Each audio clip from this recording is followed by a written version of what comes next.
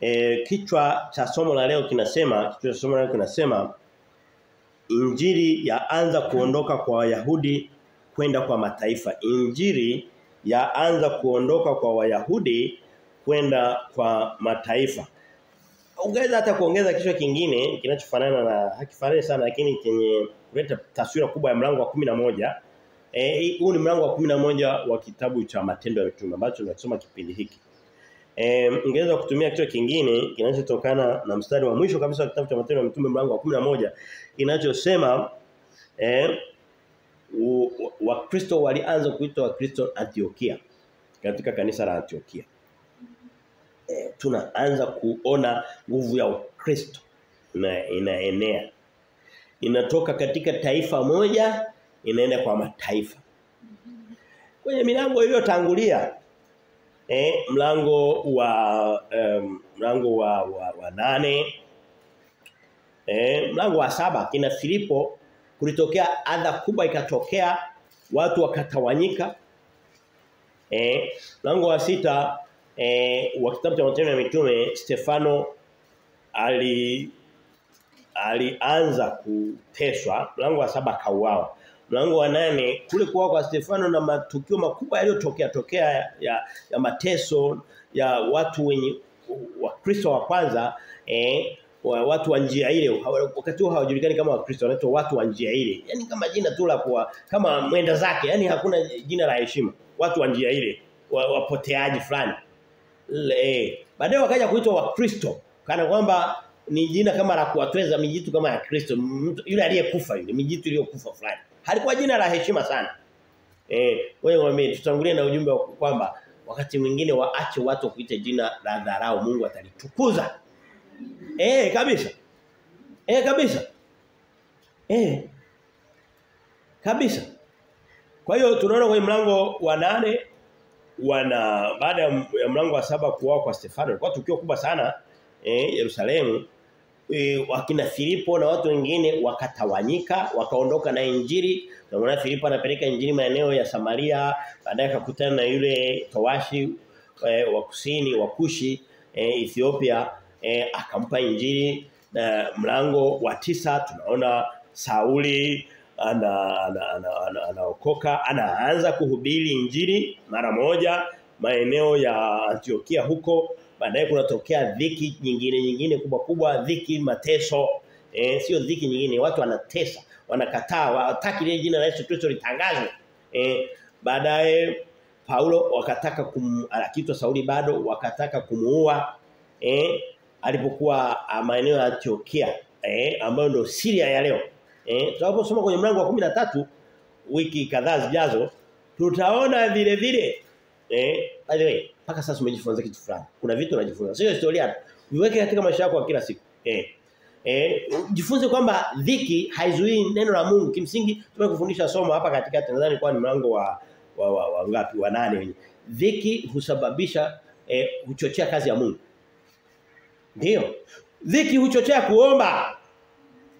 Watu wanaoishi kwenye pati leo anatoka kwenye e, kasino hii, anaingia kwenye klabu ile, anatoka pale anaingia kwenye nini? Wewe kwambie huyo mtu hakumbuki kuomba. Lakini ninakuomba wewe unanisikia, wewe unatufuatia kutoka na mimi mwenyewe na nina Hem kumbuka kuomba, kumbuka kumtumikia Mungu usipokuwa katikati ya dhiki asije kulazimika kuleta dhiki ili kusudi akukumbushe. Nitakuwa nimekuhubiri makosa?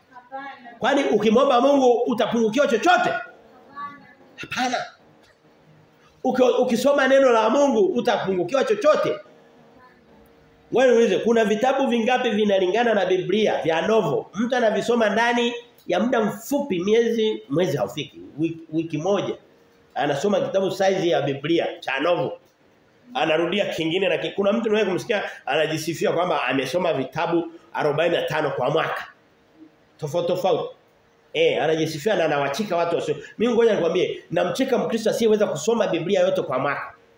Eh, huyu kama anacheka watu ambao hawasomi vitabu 45 kwa mwaka na takataka nyingine. Kusoma vitabu haina ubaya, nenda kasome vitabu, lakini anza na kitabu.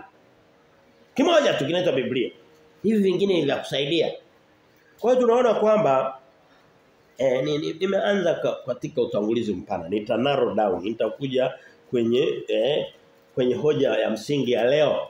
Eh, ni, kidogo mistari ni sio mingi sana. Iko 30 eh sio sio michache lakini naamini tutapita humo kwa muda mwafaka. Eh, kwa hiyo tunaona kwamba eh, hapo katikati injili ilikuwa bado kwenye mipaka ya alipoondokea Kristo Yerusalemu. Eh, baadaye inaenda inagusa Antiochia eh, ambapo inaonekana ndicho kituo cha kwanza nje ya mipaka ya Yerusalemu, nje mipaka ya Wayahudi na Israeli ya wakati ule nje. Leo ndo Syria ya leo. Nchi ya Syria ambayo Ukristo wa kwanza kabisa unaota mizizi Syria. Leo hii ni taifa asilimia karibu mia moja la Kiislamu. Jumbe mwingine unaokuja na nitaendelea kusisitiza wewe Mkristo. Wewe mtu ambaye Mungu ameku, ame, amekupa neema ya kumwamini Bwana Yesu Kristo.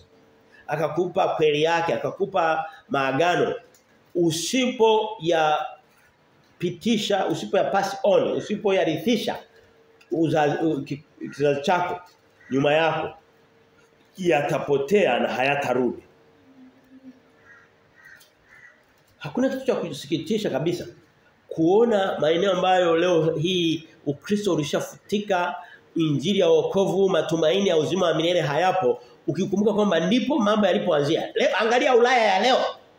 Angalia taifa kama Uingereza King James hii ambayo tunapambana nayo mpaka leo ukienda TBS inaitwa Tanzania eh, sio Tanzania eh, try, try, try, try, Trinitarian Trinitarian Bible Society TBS eh jumuiya ya utatu wa Biblia wako huko walikuwa huko ndio waliotunza neno la Mungu kwa ma, kwa neema ya Mungu sio kwa wema wote.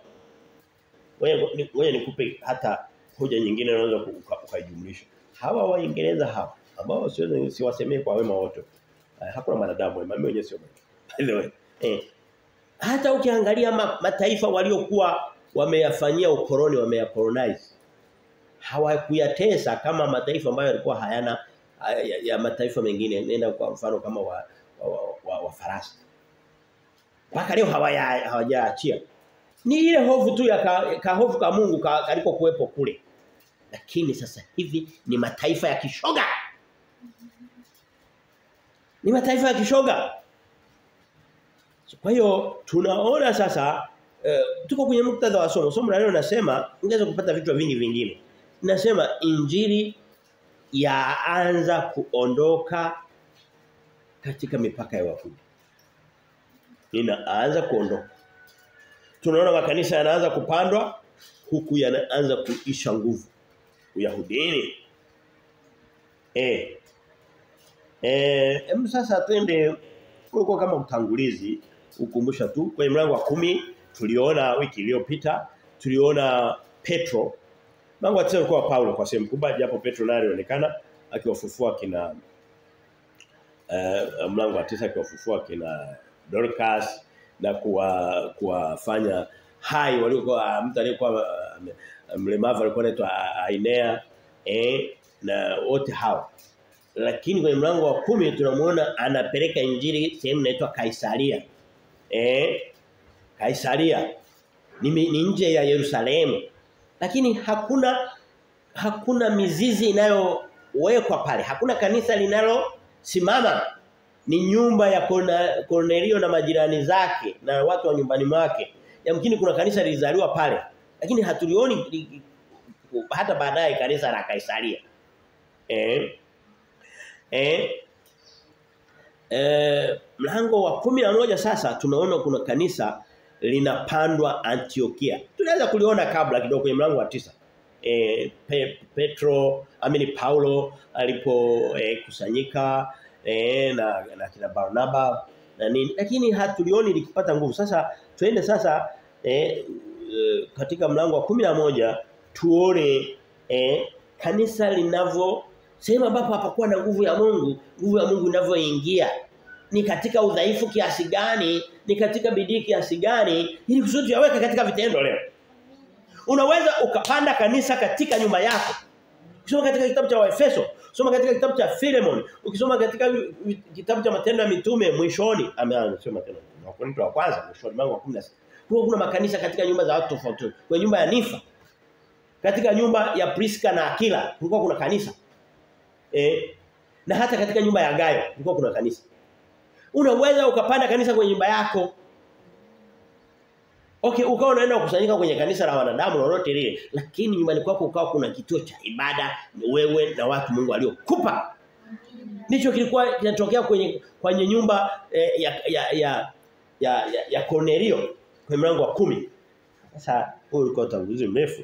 Sasa twende katika eh, mlango ule wa kumi na moja Niko na na connect naunganisha eh, na yaliyotangulia. yani mnaweza mkasoma mtiririko wa, wa wa hizi habari. Injili wakati mwingine ili kusudi kukumbuka mistari kwenye Biblia wakati mwingine inaenda na, miti, na mtiririko wa mambo. Kwamba okay, kwenye mlango wa tisa bila shaka kuna matukio ambayo yalimhusu Paulo akiitwa Sauli alipokutana na Kristo aka na nini njiana kuelekea Dameski. Yaani ni rahisi kukumbuka pale ukajikuta unakumbuka lakini ukiwa unasoma tu huna connection huna nini huwa ni rahisi kusahau au kupoto, kupotea. Eh. yeah. Uh, hoja ya kwanza ina tutaona hoja kadhaa kwenye mlango wa 11. Tume, tumeshasomea mstari kwa 30. Yaani hoja ya kwanza inasema Wayahudi ndio wapinzani wa Injili namba moja. Hii hoja tutaambatana tuta, nayo mpaka kwenye mlango wa 28 wa kitabu cha Matendo ya Mitume na kwenye kwenye nyaraka zitakazofuata baadaye. Mm -hmm. kwa mfano kusoma kwenye kitabu cha Wathesalonike wa kwanza mlango wa pili tutaona tunarejea rejea. Lakini ndani ya Matendo ya Mitume karibu kila mstari, kila mstari, kila huu, kila kila mlango utakuta waliokuwa hawataki in, wanataka injili ipotee tike waingoe kabisa mizizi yake walikuwa ni Wayahudi. Of course huwezi kushangaa ndio waliotaka kuliangamiza kumangamiza Kristo. Eh. Unaweza kusema ilikuwa imepangwa na Mungu kwamba waangamize okay ilikuwa imepangwa na Mungu waangamize haina shida sio. Je ilikuwa imepangwa na Mungu kwamba waiangamize na injili? Sasa walikuwa ni mpango gani? Hao ni wawaja wa kimwili na wa kiroho. Unaweza sasa una shida nao. Mimi hata si, sina Myahudi hata mimi niliwahi kukutana na Myahudi mmoja kwa maisha yangu. Nilipokuwa Uholanzi. Mara moja tuna wakati nilikuwa sijawaji. Nikamsema nikasema ah je mko maarufu sana akasema yule binti akasema ah natamani tukikuwa maarufu kiasi. Lakini sio kwa wema. Alikuwa anajua wanachofanya. Je, tuna shida jamani wale ni wanadamu kama sisi nawaombea kabisa ikiwezekana hata leo waache imani zao zote zinazompinga Yesu Kristo taifa lote likiwezekana limkiri Bwana Yesu Kristo katika mioyo yao eh ni waombea kama ninavyoombea wanadamu yoyote yule na kama vile siishi si, si kuombea tu kama ninavyopiga kelele ni kwa kuhubiri wanaweza kusikia amen Watu tunaona Wayahudi ndio wapinzani namba moja wa injili. Mstari wa kwanza mpaka mstari wa 19. Eh? Ilikuwa hivyo wakati wa Yesu. Ilikuwa hivyo wakati wa wa wa, wa, wa, wa mitume. Eh? Wa, wa mitume kwenye mlango wa 12 tutamwona Herode ana asili ya Uyahudi. Wanasema alikuwa ni ukoo wa kina Esau, lakini ni wana wa, wa Yakobo na Ibrahimu hao wote na Isaya na Isaka. ni aliyemuua Yakobo. Mtume mkubwa. Yakobo mkubwa anaitwa. Eh? Eh? Eh kwa hiyo hem tusome ile mistari. Mstari wa kwanza mpaka wa 4 tusome. Anasema basi niko nasoma matendo ya mitume 11 jamani naomba tutiane nguvu. Tusukumane na hii injili. Eh Twende tuone tunafika mwishoni mwa kitabu cha matendo ya mitume. Tunasoma mlango wa 28 tunahitimu. Kama nimekwisha sema kitabu cha kuhubiri kabla. Hatukukinukuu. Eh. Eh mstari wa kwanza anasema matendo ya mitume 11 basi mitume na ndugu waliokuwako katika Uyahudi wakapata habari ya kwamba watu wa mataifa nao wamelipokea neno la Mungu. Na Petro alipopanda kwenda Yerusalemu wale walio watohara wakashindana naye wakisema uliingia kwa watu wasiotahiriwa ukala nao ukala nao. Petro akaanza kueleza kwa taratibu akisema hii mistari minne ya kwanza inatuonyesha kwamba Petro ametoka kupeleka alikuwa maeneo ya Yafa na Lida eh akaenda Kaisaria hapo ni, ni nje ya, ya Yerusalemu na Uyahudini eh. Kuna taifa najaribu kulikumbuka leo eh ambalo leo hii inaitwa mji wao mkuu unaitwa Beirut imeanza kuisahau ndio wako wakinoa mahezbora na nini wako eh ndipo ambapo hayo yote yalikuwa yanatokea Kaisaria. Eh? eh wanapata taarifa kwamba injili imeanza kusogea. Eh, una, unasikia mithali ile minne wakasikia kwamba watu mataifa nao waipokea injili.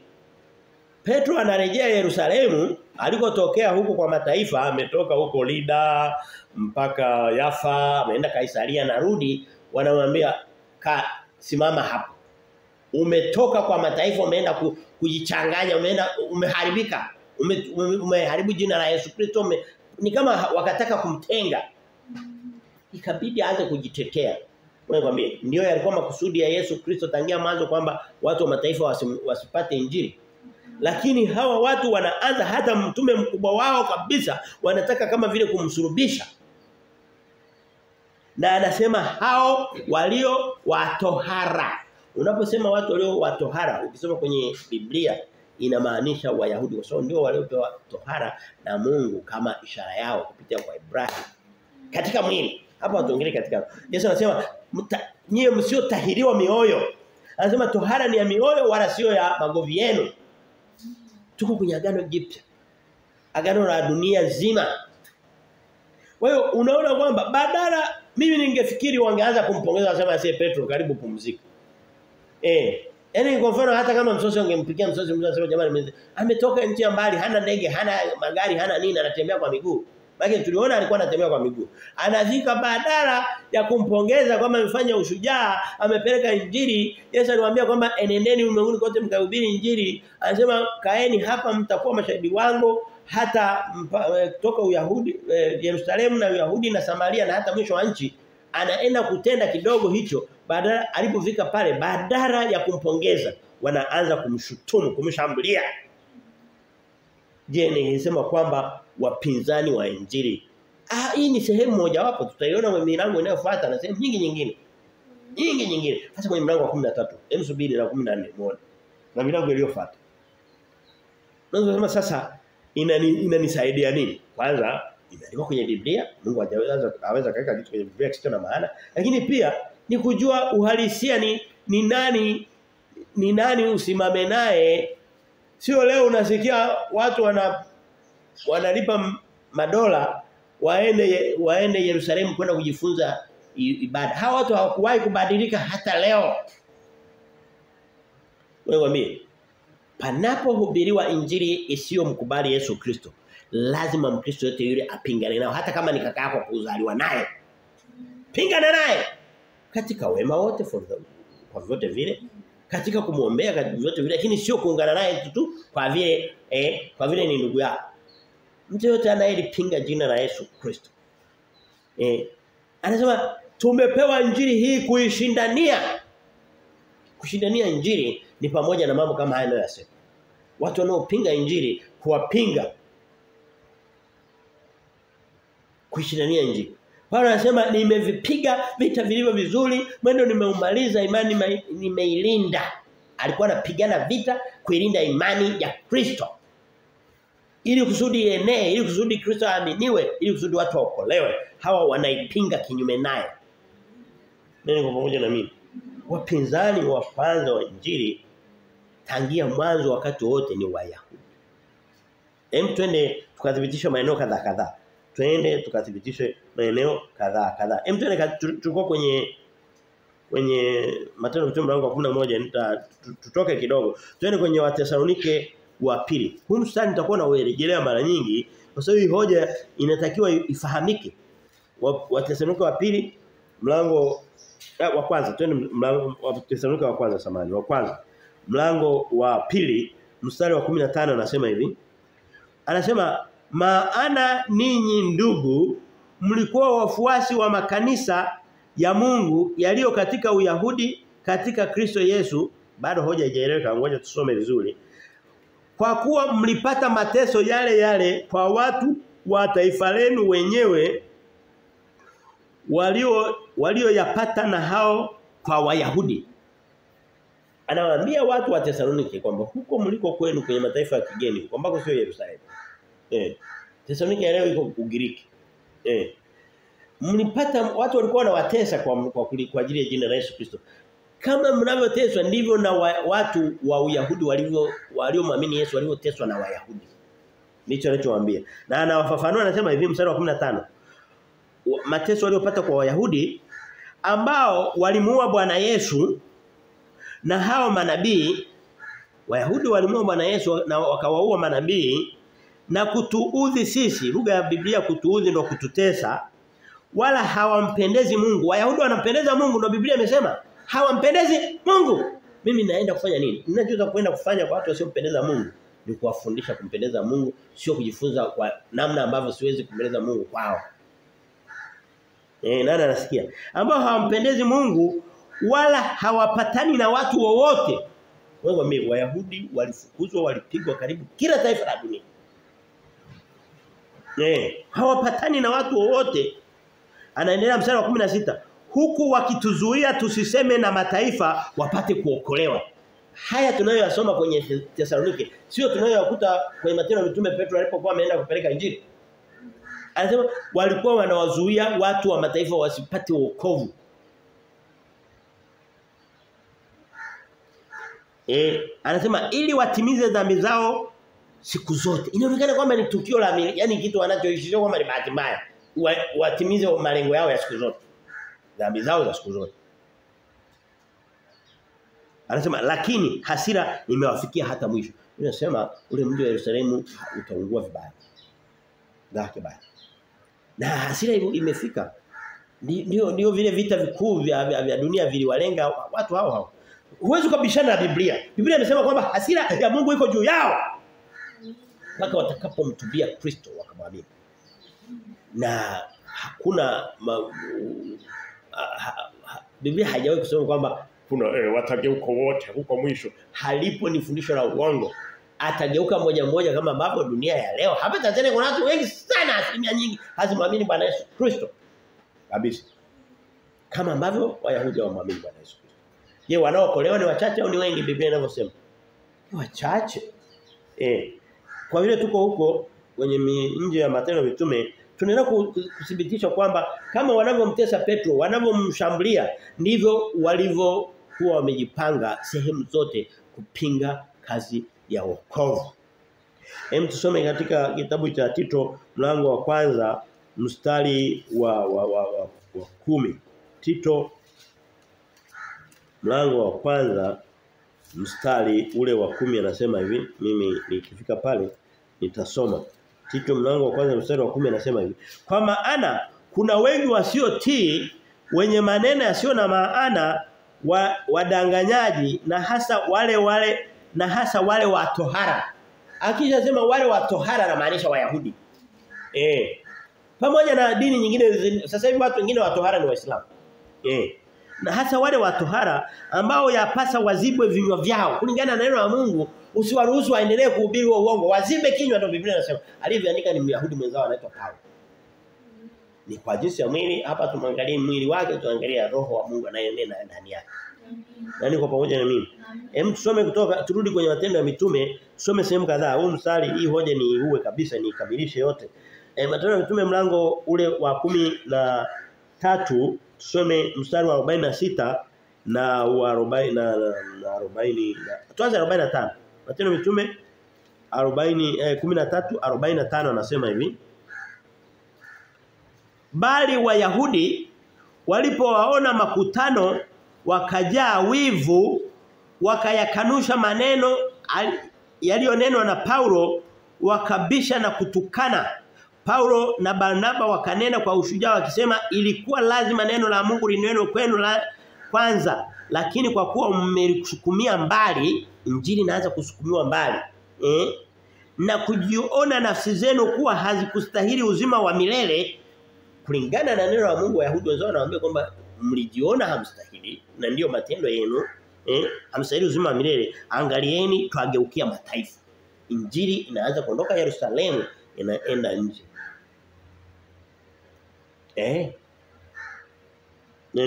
Yesu alifundisha hivyo mara nne sehemu nyingi alifundisha kwenye yeye mwenyewe kinywani na Paulo alisema kwenye Mathayo mtume mlango wa 28 hii hoja tutairudia Mathayo mtume mlango wa 28 mlango wa mwisho lakini Yesu alihubiri kwenye Mathayo 20 na na na, na, na, na moja mstari wa 43 ali sina muda kwenda huko. Yesu aliwaambia anasema tazama eh, ufalme utaondolewa kwenu na kupelekwa kwa mataifa. Ufalme wa mbinguni utaondolewa kwenu. Eh, alihubiri katika kitabu cha Yohana mlango wa 12. Eh? Eh, eh naweza nikaendelea sana kwa ajili ya muda. Eh, em tusome mstari hapa hapo mstari wa hamsini anasema hivi lakini wayahudi wakawafitinisha wanawake eh sijajua kwa nini wataua wenye cheo na wakuu wa mji wakawataharakisha watu wawaudhi manake wawatese Paulo na Barnaba adui wa, wa msalaba hapa ni nani mpaka sasa? Tumesoma mistari mingapi? Mingi mpaka sasa. Bado nina orodha ndefu. Hem tuende kwenye ma, mlango ule wa 14 matendo ya mitume hapo hapo. Mstari wa pili anasema hivi. Walakini matendo ya mitume 14:2 walakini wayahudi wasioamini wakawataharakisha watu wa mataifa na kuwatia nia mbaya juu ya ndugu. Hapo walikuwa wanawazuia hataki injili. Eh mstari huo ni, mlango wa 14 mstari wa pili. Mlango wa kumi na saba mstari wa tano. Hiyo ni matendo ya mitume. Hii mstari tutakuta huko mbele lakini naomba nitangulie kuisitiza mstari kwa sababu ni hoja kubwa sana. Lazima ujue adui wa injili ni nani ili kusudi uchukue usipomjua adui yako jamani. Hivyo ukifikiri adui wako ndio ndio ndio ndio rafiki yako au ndio msaidizi wako utapona kweli? E, siri zako mpango wako unampa adui yako hujui utakuwa kwenye hatari kubwa kweli kweli eh Leo hii wakristo wanadhani kwamba sehemu ya kwenda kumtangaza Kristo na kujifunza habari za Kristo ni kwa Wayahudi. Ni sawa na mtu ambaye anaenda kwa adui zake kwenda kuficha kuweka siri zake na na, na, na kupata msaada. Utaangushwa. Matendo mtume mlango wa 17 mstari wa 5. Na Wayahudi wakaona wivu wakajitwalia watu kadha wa kadha kati watu wa ovyo wasio na sifa njema. Waona wivu kwa ajili ya neno la Mungu. Eh, hawataki lienee. Matendo mitume 17 tulikuwa 5 twende 13. 13 ni sehemu unaweza kufikiri nasoma kitu kile kile. Ni sehemu tofauti tofauti. Anasema hivi. Lakini Wayahudi wa Tesalonike walipopata habari ya kwamba neno la Mungu linahubiriwa na Paulo hata katika Beroya wakaenda huko nako wakawachukua na kufadhaisha makutano. Hapa kuna watu wa kujifunza tabia njema kwao. Hamna. Matendo ya mitume 21 25. Hem nitaishia hapo kwa leo. Ni, ni mistari yani hapo nimechukua mistari michache. 21 20 eh, 21 27 tusome. Matendo ya mitume 21 27. Sikiliza vile nasema. Tena mitume 21 27. Basi zile siku saba zilipokwisha karibia kutimia Wayahudi waliotoka Asia wakamwona ndani ya hekalu wakawataharakisha watu wote wakamkamata wakapiga kile wanamtesa Paulo mtu aliyekuwa ndo mbeba maono ya injili kwa kiwango kikubwa kabisa kwa kutokea. Lakini walikuwa hawataki hata akanyage kwao. Alafu leo eh, eh, niwahi kuliona lile limarehemu TB Joshua. Liko kwa Wayahudi naambia eh, ninyi wana wa ufalme wa mbinguni. Hamhitaji hata Yesu Kristo? Sisi tunaingia kwa Yesu nyinyi mnaingia kwa njia nyingine. Hili ni maneno ya Kristo. Na Mungu hakumpa muda wa kuendelea muda mrefu Eh. Kwa hiyo em, twende katika twende katika Mathayo Twende katika Mathayo mlango ah, hii misali mizito mizito siwezi nikaiacha misali. Eh Ma, Mathayo 23:34. Haya sasa ni maneno ya Kristo mwenyewe. Sasa haya ni kuyabeba kama yalivyo. Oh, of course kila neno la Mungu ni la kubeba kama lilivyo. Sio la kuhoji. Mimi huwa sihoji neno la Mungu. Ninajifunza tu labda sikuelewa vizuri. Eh, lakini nikiona sijaelewa najua sijaelewa. Eh, Mathayo 23:34 Biblia inasema kwa sababu hiyo angalieni mimi natuma kwenu manabii na wenye hekima na waandishi. Hapa alikuwa anaongea na Wayahudi wa Yerusalemu. Na waandishi na wengine wao ninyi mtawaua na kuwasulubisha na wengine wao mtawapiga katika masinagogi yenu. Wenye masinagogi hakuna mtu mwingine mwenye sinagogi. By the way, usiingie kwenye kanisa linalojiita temple au sinagogi, sio kanisa hili. Eh, temple na sinagogi sio eh, the temple of uh, Calvary sio kitu gani church, temple church. Squad. Ile ya Nigeria na na na, na, na, na, la TB Joshua. Ni mchanganyiko wa kanisa na na, na, na. Yesu alisema hekalu litangolewa litavunjwa kanisa litajengwa ndani ya siku tatu. lazima tu, tu, tu, tufuate alichokisema Yesu Kristo. Anasema mtawaua. Eh. Katika masinagogi yenu na kuwafukuza katika miji yenu hivyo ije juu yenu damu yote ya haki iliyomwagika juu ya nchi tangu damu ya Habili yule mwenye haki hata damu ya Zakaria bin Barkia. Anasema Yesu Kristo akiongea na hawa watu. Anasema katika kitabu cha e, mstari wa 36 anasonga mbele anasema hivi amini nawaambieni mambo hayo yote yatakuja juu ya kizazi hiki. Lakini tumalizie kwa kusoma Luka Luka 13:33 shina kwenda huko anasema hivi haimpasi nabii aangamie nje ya Yerusalemu. Sehemu ya manabii kufia ni Yerusalemu. Watu yani ili kusu yani sehemu hasa buchi, ngombe ngombe unaweza kaenda ukamchinjia wapi? Si kwenye machinjio? Machinjio ya manabii wa neno la Mungu ni Yerusalemu. Biblia okay ngoja niende pale nikaisome. Sababu aliyesema ni Yesu Kristo mwenyewe. Anasema hivi katika kitabu cha cha eh, unajua naenda haraka kidogo sio na hoja nyingi. Eh ma, ma, ma, ma, Luka 13 aliyesema ni Yesu Kristo mwenyewe. Luka 13 Yesu wao hampendi kwa sababu aliwaambia kweli. Luka 13:33 Biblia inasema hivi. Pamoja na hayo imenipasa kushika njia yangu leo na kesho na kesho kutwa kwa kuwa hayumkini nabii aangamie nje ya Yerusalemu. Hayo naambia kwamba mimi nitafia tu Yerusalemu kwa sababu ndipo napotakiwa kufika. Um, tusonge mbele. Kwa hiyo tumeona hoja ya kwanza eh, inayotuonyesha Wayahudi kwamba walikuwa wapinzani tangia mwanzo. Tuanze mstari ule wa tano mpaka 14. Yaani nitasoma pamoja kwa haraka. Anasema hivi. Petro anaanza kujitetea kwa wale Wayahudi. Kwa kazi nzuri, hakuna kitu kibaya ufanye kazi nzuri alafu uanze kujitetea kwa kazi nzuri uliyoifanya. Wakristo naomba nikwambie, mnanisikia na mimi. Jitahidi usi usianze kum kumshutumu na kumvuruga au kumtesa mtu ambaye amefanya kazi nzuri. Eh, labda mtu amekuja amekuletea zawadi. Hivi ushawahi kuona mtu zawadi badala ya kuleta amani, labda amekukosea vipimo, labda amekukosea rangi yako, wewe uka, uka, ukaweka hasira kichwani. Yeye amehangaika kuletea ile zawadi. Ipokee hata kama haikuwa nzuri. Eh. Mtu ametenda jambo zuri unaanza kujitetea. Petro anaanza kujitetea. Anasema na alikuwa katika mji wa Yafa. Nikiomba roho yangu ikazimia. Naweza nisi nisisome yote mpaka mwisho. E, kuanzia mstari wa tano mpaka mstari wa kumi na nane Petro anafafanua mambo yaliyotokea kwenye mlango uliotangulia wa kumi. E, naomba nisisome yote kwa ajili ya muda. Eh Eh au ngoja nipitie pitie kidogo ili kusudi Kristo naweza nisisome na mtu mwingine asisome. Wewe nisome haraka haraka. Na katika mji wa Yafa nikiomba roho yangu ikazimia nikaona maono chombo kikashuka kama nguo kubwa ikiteremshwa kutoka mbinguni kwa pembe zake nne nika kikanifikiria nikatazama sana nikifikiri nikaona wanyama wa nchi wenye miguu minne na wanyama wa mwituni na watambao na ndege wa angani nikasikia na sauti ikiniambia ondoka Petro ukachinje ule nikasema hasha bwana kwa maana kitu kilicho kichafu ki, na kilicho najisi hakijaingia kabisa kinywani mwangu. Sauti ikanijia mara ya pili kutoka mbinguni alivyovitakasa Mungu. Usivinene wewe najisi. Jambo hili likatendeka mara tatu.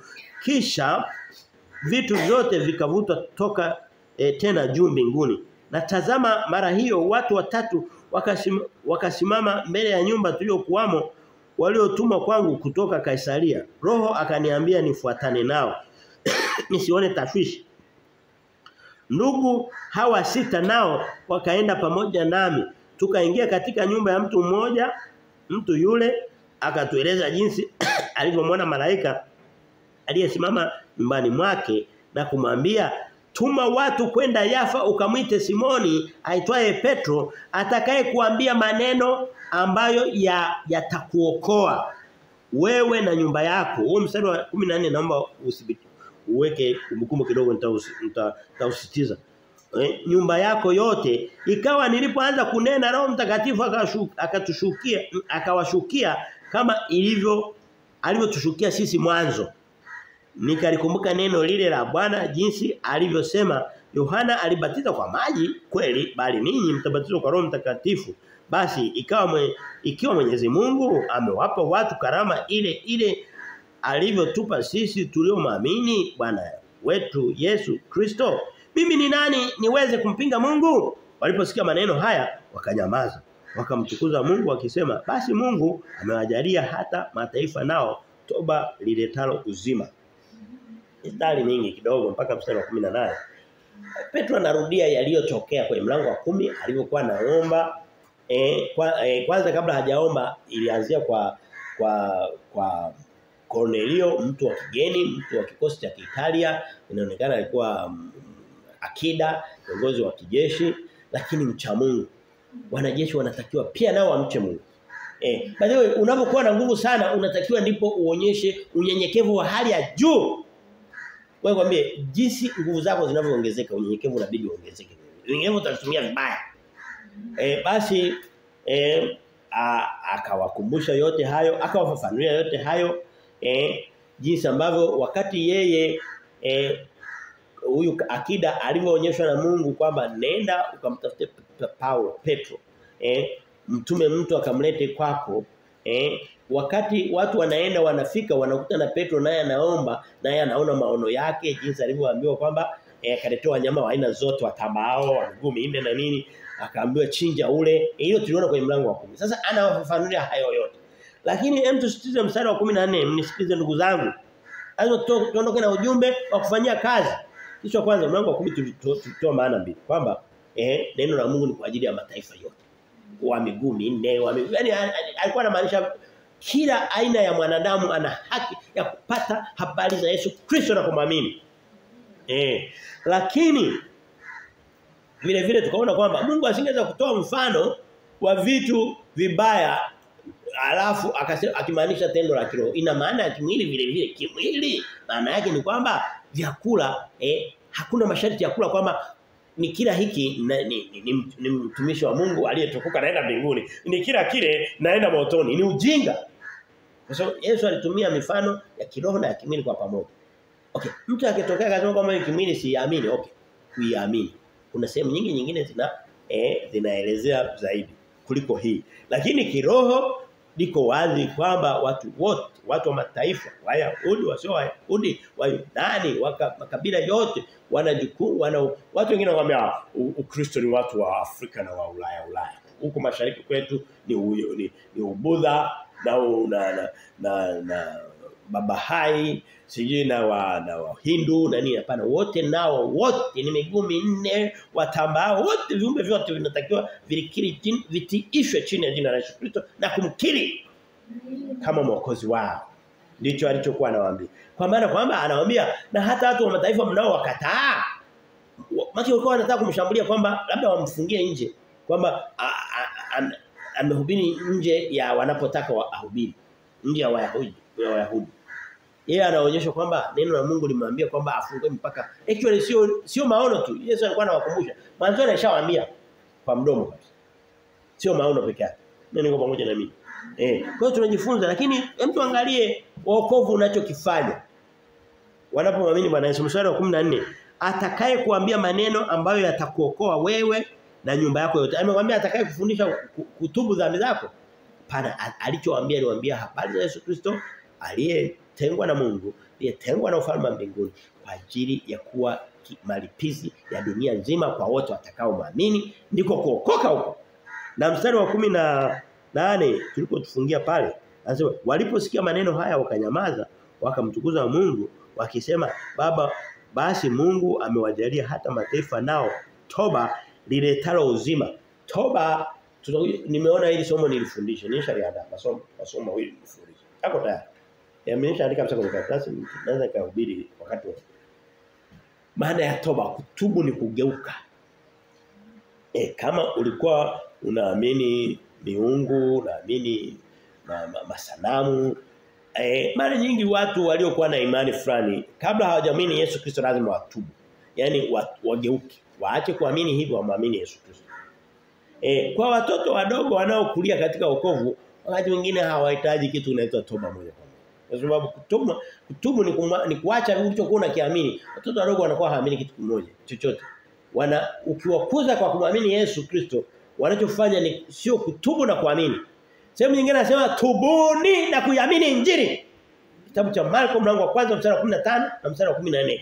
Tubuni, geukeni, acheni kuamini vitu vingine, iamini injili.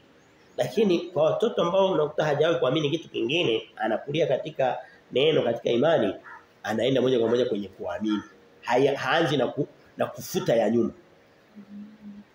Hapa mtu anakuambia ni kutubu dhambi, wewe kwambie ni nani ambaye shawe kutubu dhambi akawa hatendi dhambi nyingine yote? Lakini Mungu anataka tuzitubu kila itopo leo ni kwa ajili ya amani ya miili yetu, ni kwa ajili ya, ya baraka, ni kwa ajili ya kusikizwa kwa maombi yetu. Lakini ninapokuja kwa swala la kupata kitu kwenye uzima wa milele ni kuacha kuamini vitu vingine na kumwamini Bwana Yesu Kristo ndiyo toba ya rohoni, toba ya kiimani. Eh, naomba ieleweke. Mtu asielewa maneno kwa kweli yuko kwenye hatari ya kupotea. So yako wazi. Eh. Anasema basi Mungu amewapa eh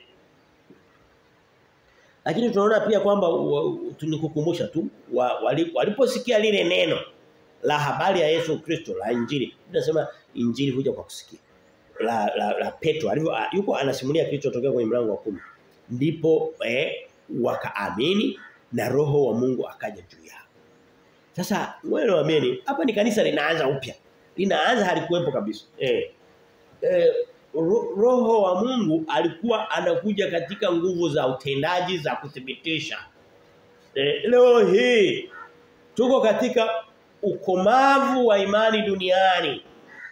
Eh, kinacho kinachoanza ni roho eh inaonekana hapa vilikuwa vinakuja pamoja.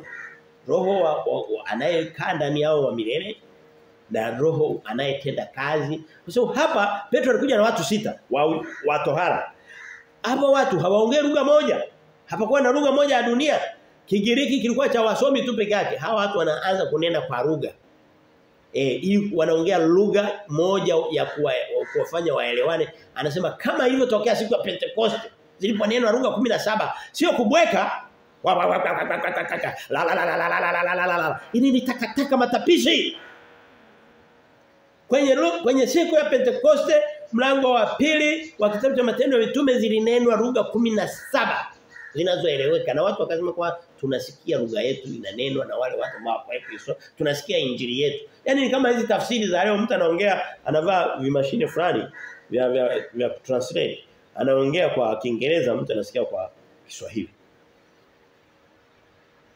nani yuko pamoja na mimi yeah. Hao watu wanamwinga Mungu. Mungu alianza siku ya Pentecost. Wao hii sisi kwenye sayansi imekuja baadaye sana. Wao kina Petro walikuwa wanaongea kwa Kigalilaya, watu wa Waarabu wanasikia kwa Kiarabu.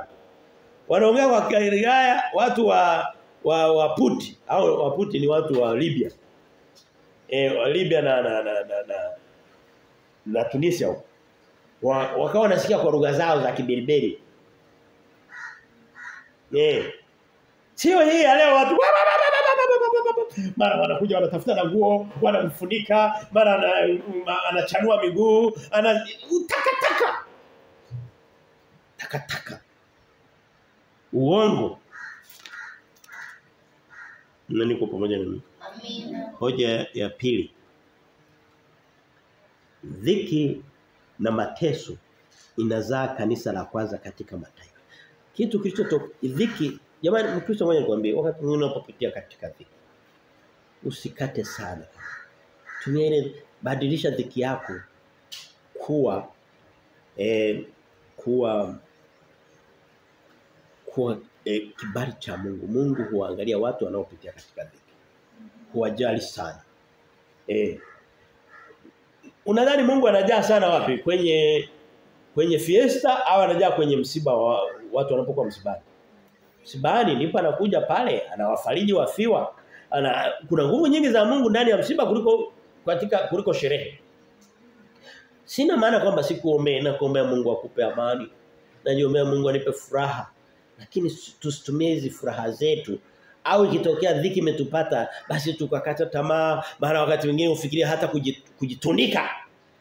Hapana, tumia ile dhiki vizuri ili kusudi mkabie Mungu wako. Daudi anasema katika Zaburi ya 119 mstari wa 71 anasema ilikuwa vema kwamba naliteswa nipate kuzijua kujifunza amri zako. Eh wakati wa dhiki ninaacha kujifunza mambo ya Mungu. Naishi kuvuta Biblia ukaisoma. Eh Eh tusome pale mstari wa 17 mpaka 25 anasema basi wale waliotawanyika kwa sababu ya ile dhiki eh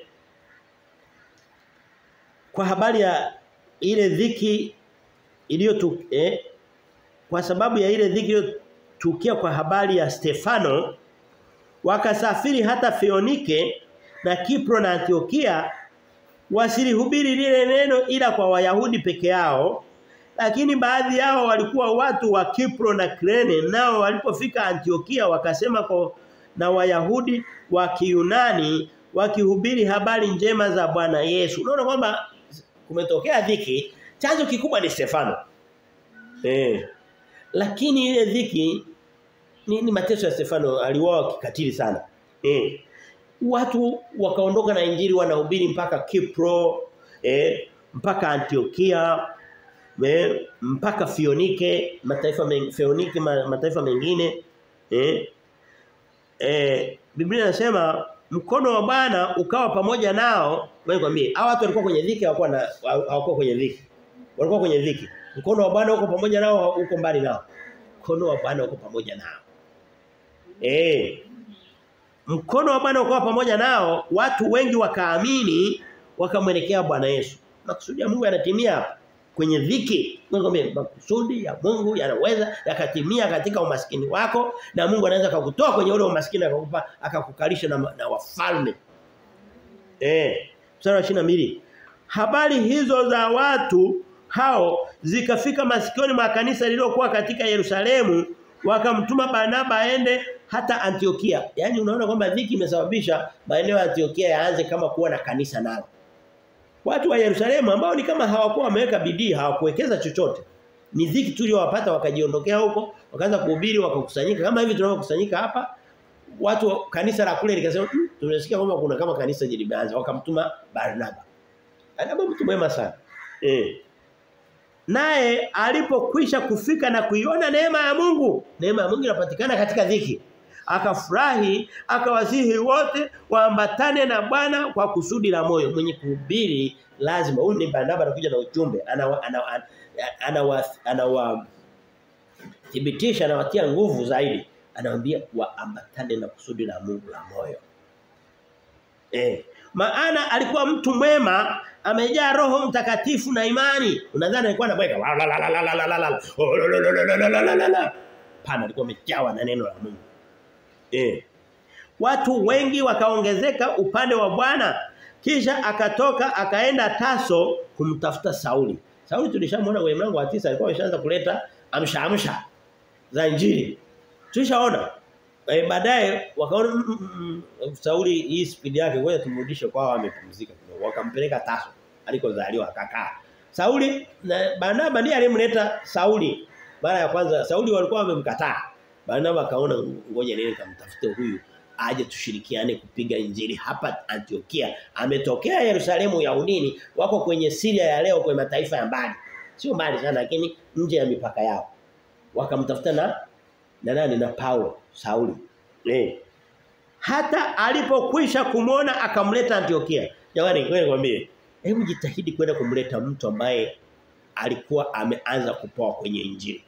Mlete. Mkusanyike pamoja. Mlete mtu. Eh, mshawishi, mumpigie, piga magoti, mtafute mtu kwenye akili zako sema Mungu namtaka yule, namtaka umlete katika utumishi. Eh, ukiona hayupo basi ombe Mungu amlete yote yule sio mzima. Maana Mungu anawajua. Eh. Akamleta Antiokia. Mstari wa wa, wa 26. Akawa aka, aka ikawa kwa muda wa mwaka mzima wakakusanyika pamoja na kanisa na kuwafundisha watu. Tunasikia kanisa la kwanza nje ya Yerusalemu iko Antiokia. Ndio tunasikia neno kanisa nje ya Yerusalemu. E. wanafunzi wa, waliitwa wakristo kwanza hapo Antiokia. Waliitwa na watu. Hajasema wamejiita. Huwezi ukawa na wakamia kwambia kwamba lakini kulingana na jinsi mateso yalikuwa yanaendelea na nini wakawa waita miji yale yanayomfuata Kristo ma Kristo fulani wa Kristo eh. Wewe mtu anaweza kukupa jina baya usianze kupambana nalo sana. Mungu atalibadilisha alifanye zuri Mungu anaweza kukuita watu wanaweza kusema yule maskini anapita. Mungu akasema huyu ndio tajiri wa uzima wa mbinguni wa milele huyu ni tajiri wa kesho. Eh. Huyu ni tajiri wa kesho. Usiogope kesho yako. Ikabidhi nje zako mikononi mwa Kristo Bwana atakuongoza.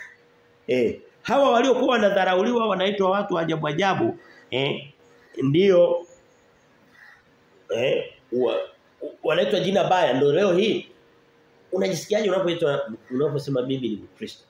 Unajisikia fahari? Namfuata Kristo. Eh ah nani kwa pamoja eh lakini waliitwa kwa jina halikuwa jina la sifa sana halikuwa jina la la utukufu sana. Halikuwa jina la heshima sana. Eh lakini Mungu akalibadilisha watu wanaweza kukuita tasa. Mungu akasema ni mama wa walio wengi. Nenda kasome katika kitabu cha Wagalatia mlango wa 4 Sara akaitwa tasa lakini anaitwa mama wa dunia nzima. Ndio kwa kitoto hiki kimoja nacho hicho kipata uzeeni sijui hata gani, si labda alikuwa anakionyesha labda alikuwa anakipa maziwa ya nani ya unga sijui. Sasa so, yashakuwa mkubwa sana. Lakini muujiza wa Mungu ni mkubwa. Eh watu wanaweza kukuita chochote watu wanaweza wakalidharau kabila lako. Leo watu wanajisifia makabila. Watu wanaweza kama sisi tunaotembea mataifa ya mbali watu wanaidharau taifa lako. Ndiyo, watu si uh, sisi tuna sifa kubwa. Bana huko duniani kuna mataifa yana sifa Huwezi kukaa na Muitaliano au Mfaransa ukasema mimi I am from Tanzania. Wanakudharau kweli kweli. Wewe Tanzania is it, is it Zambia? Africa eh? Na sio kwamba kwa vile anahisi anajua chochote hapana ameona tu rangi yako. You from unasema from Tanzania Africa eh? Yaani wewe unalazimisha utaje taifa yeye analazimisha ataje rangi. Eh. Wa Marekani wahuni hawajihitaji kwamba I'm from kwanza anakuambia I'm from the state. Hataji atamka taifa. Ni kama mtu aseme mimi natokea TZ. Yaani lazima umtafute tu. Kuna mmoja tulikuwa tunakaa naye si nchi gani anasema I'm from Southern California. Yaani sio jimbo tena la California. Ah, sasa hivi kuna wanao yani kabisa anajiita Southern California. Yaani lazima upajue tu. Sino kuna nani? Kuna ku, kuna Disney. Eh? Kuna kuna uh, Hollywood Southern California. Utaitafuta. Kuna kuna nani? Kuna Silicon Valley. Kuna kutokea marobot yote ama manani ma, masayansi yote makubwa makubwa Silicon Valley. Southern California. Kwa sababu anajisifu chana na hayo yote. Hoja ya ya mwisho unasema ya mwisho nasema huduma ya mwisho mwisho ya utabiri au unabii. Wewe mimi unabii ni neno la Biblia lipaka unabii ni neno la Mungu lenyewe. Lakini kule kutabiri kwamba kuna njaa itakuja baada ya miaka mitano kama ile ya wakati wa kina Yusufu au kuna sijui wanyama watatokea chini ya sijui wanyama wa aina nne watatokea kwenye uso wa dunia wakati wa Daniel na nini.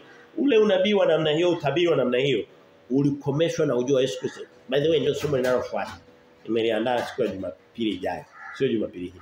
Eh utabiri una unakoma kwenye agano jipya neno la Mungu linasimama kwa sababu limekamilika. Eh tunaona kuna manabii hapa wa, wanaitwa manabii lakini kazi yao ni kutabiri E, leo hii ni ukisikia mtu anatoka hapa anakuambia kwamba e, Dar es Salaam wote muhame kufikia mwezi wa tano mwezi wa 4 2024 mji huu wote utangamia ujue kwamba ni nabii wa uongo kwa sababu agano la Yesu Kristo limekataa. Na wako wanafanya hivyo. Eh mwakani inaonekana hapa Tanzania kutatokea mambo fulani na nini. Hivi vyote ni wapiga ramli kwenye ma, kwenye ma, madhabahu.